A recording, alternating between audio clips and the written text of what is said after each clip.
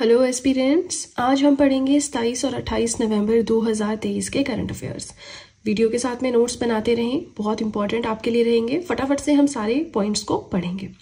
पहला है आईसीसी अच्छा आईसीसी है क्या? इससे रिलेटेड न्यूज़ है बट ये आईसीसी है क्या? इंटरनेशनल क्रिकेट काउंसिल ओवरऑल मतलब पूरी दुनिया में क्रिकेट को गवर्न करने वाली बॉडी है। जैसे इंडिया में है ना BCCI board of control for cricket in India अब बीसीसीआई क्या करता है? इंडिया में जो भी क्रिकेट होता है है ना उसका पूरा काम उसके पास है। गवर्निंग बॉडी है इंडिया में बीसीसीआई क्रिकेट की।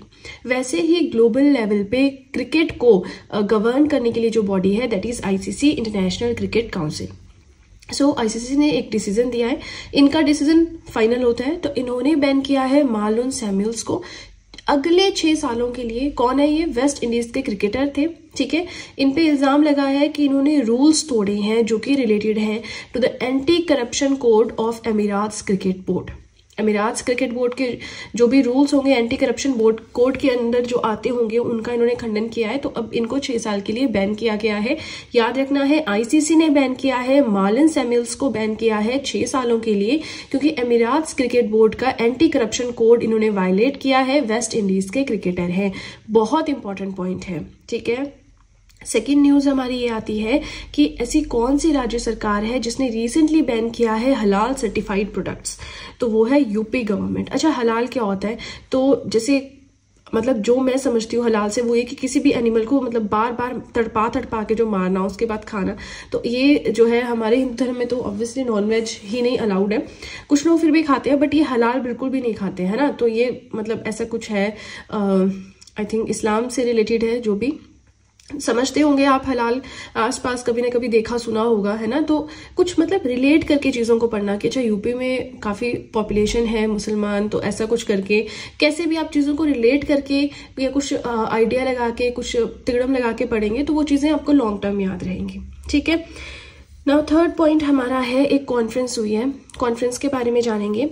नाइन्थ एडिशन हुआ है pan I I M world management conference ठीक है?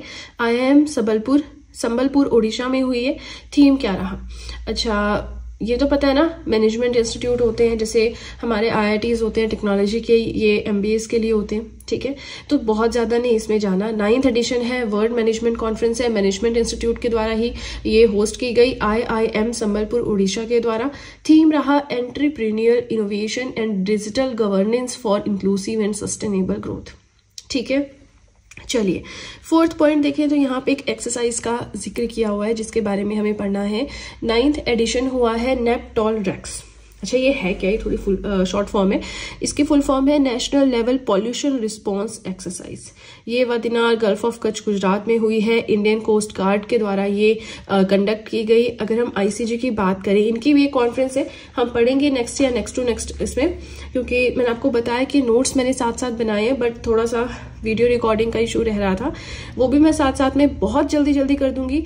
पाँच छह दिसंबर तक हम लाइन पे आ जाएँगे। मतलब जो छूटा हुआ है, वो कवर करके हम बिल्कुल सिंक्रोनाइज हो जाएँगे एंड डेली फिर हम करंट अफेयर्स पढ़ेंगे। ठीक है? सो इंडियन कोस्ट गार्ड की यहाँ पे बात करें। Maritime law enforcement and search and rescue agency of India अच्छा लॉज नेवल मैरिटाइम समझते हैं कि जो नौसेना के लॉज हैं, वो बनाना या कोई रेस्क्यू ऑपरेशन करना, वो सब आईसीजी के अंडर आता है। 1977 में इसकी फॉर्मेशन हुई है डिफेंस मिनिस्ट्री के अंडर आता है एंड हेडक्वार्टर्स न्यू दिल्ली में, ठीक है? तो इस तरह से फ़र्स्ट पेज पे हमने चार पॉइंट्स पढ़े। आई होप आप लोग साथ साथ में नोट्स बना रहे हैं, है ना? अगर आप साथ में नोट्स बना रहे हैं, बढ़िया से नोट्स आपके बनके तैयार हो जाएँगे। At the end of the month आपको मैगजीन के आने का वेट नहीं करना होगा।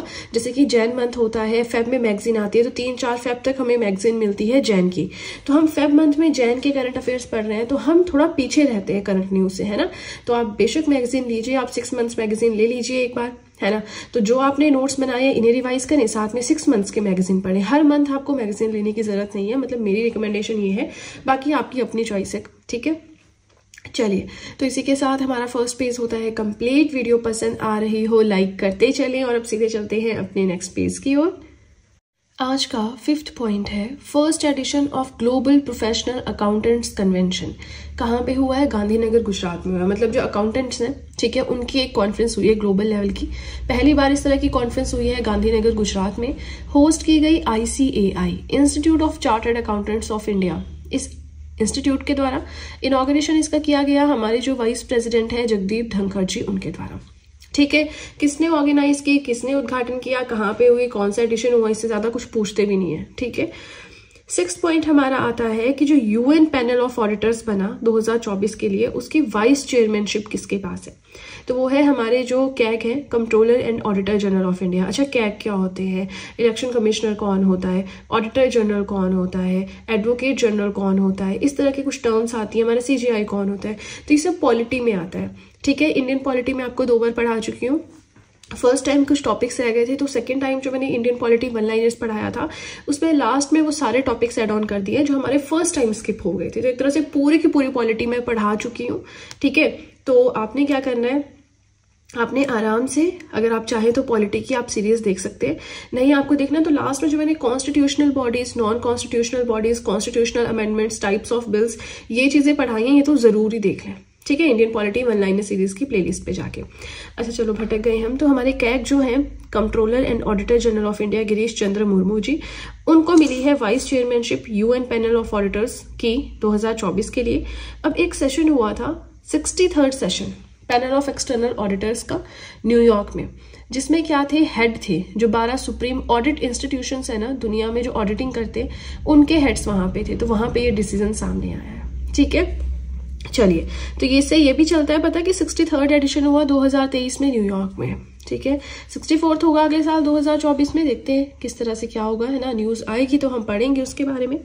फ़िलहाल हम अपना आज का सेवेंथ पॉइंट अगर देखें तो एफ़ आई सी सी आई के नए प्रेसिडेंट बने हैं। कौन बने हैं? अनीश शाह बने हैं, महिंद्रा ग्रुप के सीईओ है।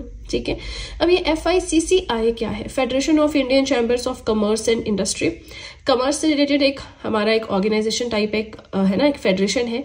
इसकी फॉर्मेशन 1927 में हुई हेडक्वार्टर्स है न्यू दिल्ली में। ठीक है? एट्थ पॉइंट देखिए रिसेंटली एक डे सेलिब्रेट किया गया। अच्छा हमारे ना कुछ डेज़ हमारे मिस हो गए हैं वो भी हम एक साथ ही पढ़ लेंगे। आज की वीडियो में एक दो डेज़ हम और डिस्कस कर लेंगे।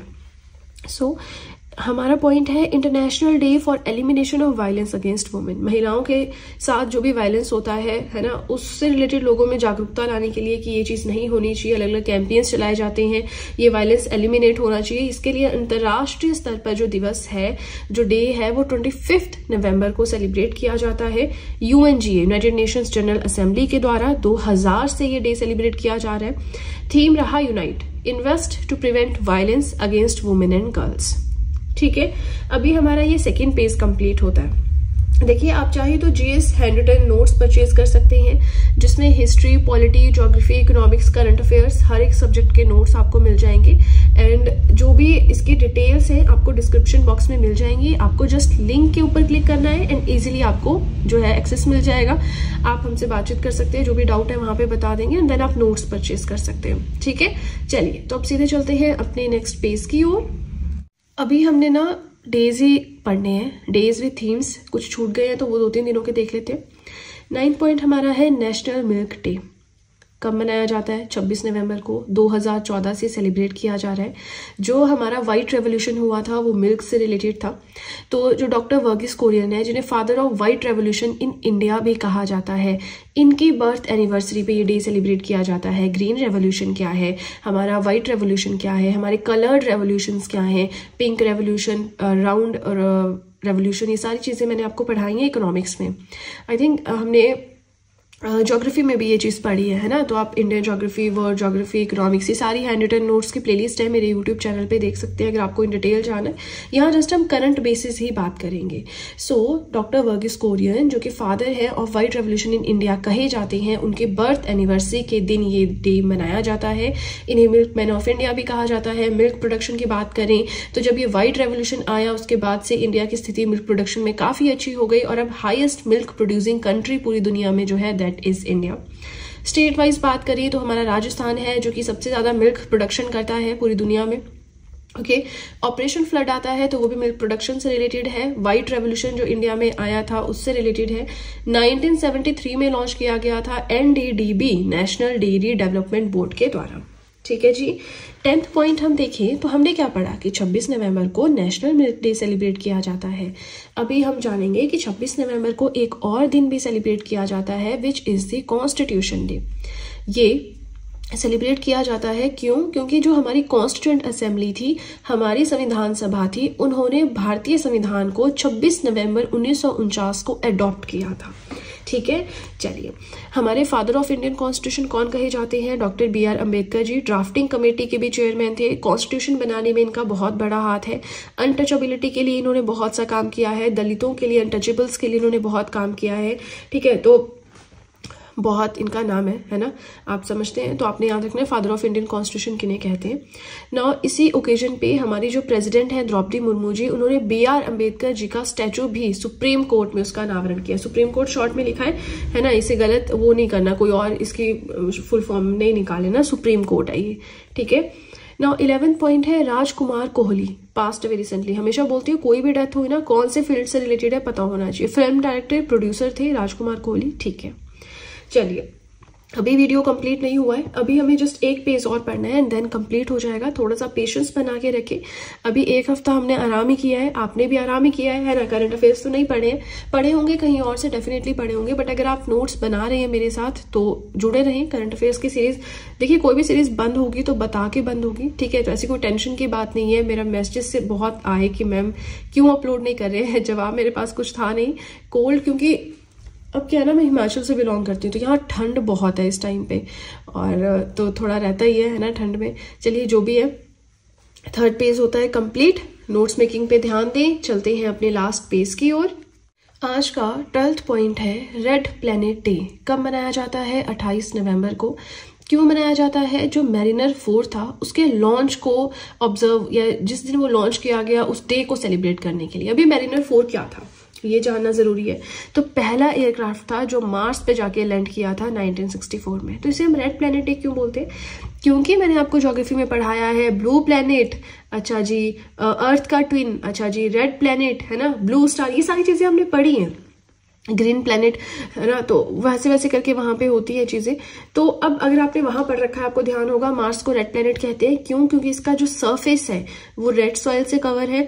रॉक्स एंड डस्ट जो है, वो आयरन ऑक्साइड से मिलकर बनी है। आयरन ऑक्साइड से मिलकर बनी है मतलब वो इसे रेड कलर देती है। ठीक है?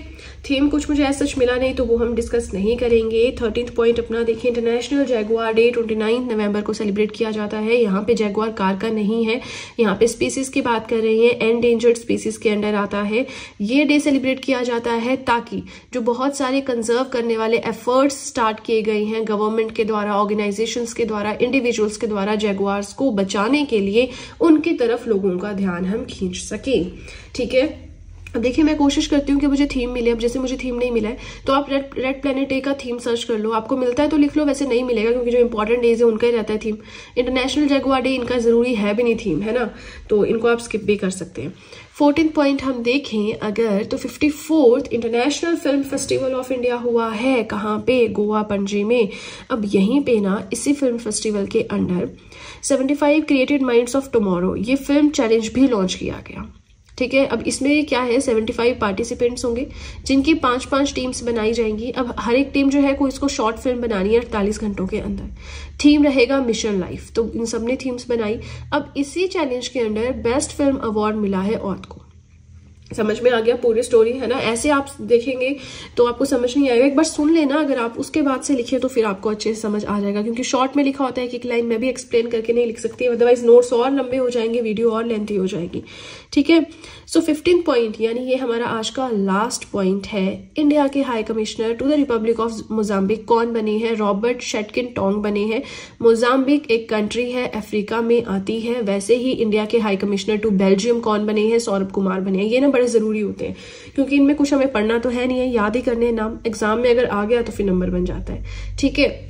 चलिए इसी के साथ हमारे आज के करंट अफेयर्स हुए कंप्लीट देखिए, आप चाहें तो मुझे इंस्टाग्राम पे फॉलो कर सकती हैं, मुझे टेलीग्राम अकाउंट पे ज्वाइन कर सकती हैं। दोनों का ही लिंक मैंने डिस्क्रिप्शन बॉक्स में दे रखा है, ठीक है? तो चलिए, आज के लिए इतना ही। वीडियो पसंद आए लाइक फटाफट से कर दें। चैनल को सब्सक्राइब करें बेल आइकन को प्रेस करें सो so दैट मैं जैसे कोई वीडियो अपलोड करूँ, सबसे पहले नोटिफिकेशन आपके पास पहुँचे। प्लस जो भी आपके फ्रेंड्स हैं, जो भी गवर्नमेंट एग्ज़ाम्स के लिए प्रिपेयर कर रहे हैं, उनके साथ भी मैं चैनल का लिंक ज़रूर शेयर करें so that in hand written notes का उन्हें भी कुछ फ़ायदा हो सके। तो चलिए फ्रेंड्स आज के लिए इतना ही। अब हम मिलेंगे नेक्स्ट वीडियो में। So that's it and see you soon